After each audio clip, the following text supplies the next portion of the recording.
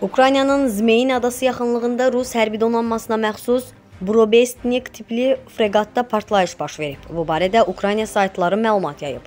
Gəmi olan əraziyə Krımdan xilasedici gəmilər göndərilib. İlkin məlumata görə gəmi Ukraynaya məxsus Neptun raketi ilə vurulub.